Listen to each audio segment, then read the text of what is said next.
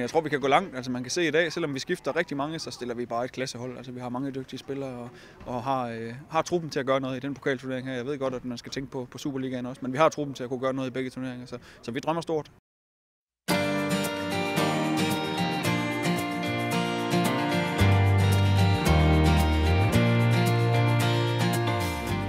Rasmus Bertelsen, øh, vi står her med en 3 sejr i bagagen over Aarhus Fremad på, på et meget specielt sted. Altså, hvad, hvad er det egentlig for sted, det her?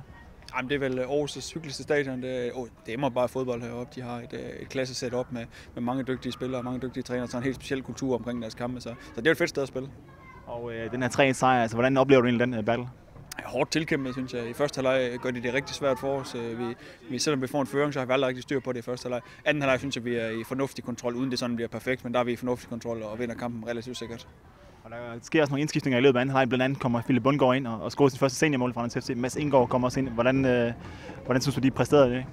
Jamen, det er jo dejligt at se Philip score, fordi vi ser ham faktisk til træning være, være rigtig farlig. Selvom han har lidt uh, klein fysik sådan på, på seniorniveau, så er han rigtig god til at dreje på folk og lige få, lige få taget sit skud samtidig øh, med, at, med, at, med, at, med, at han øh, kan holde dem væk. Fordi han er, ikke, øh, han er ikke så stor, men han er, han er rigtig skarp til at bruge de færdigheder, han har. Det var fedt at se ham score i dag, og jeg tror også, vi kan se ham til at score i fremtiden også i, i Superligaen. Han har nogle helt specielle værktøjer omkring modstandernes mål, så, så det var fedt at se. Øh, ja, så Indgår for sin debut. Han er jo en, en knæk, der har arbejdet sig op nedefra og, og gør det rigtig godt i øjeblikket, og vi har allerede lavet en seniorkontrakt med ham også fra, fra sommerferien af. Så det er altid fedt, når de unge får deres debut, og det giver også lidt, lidt god stemning i omklædningsrummet.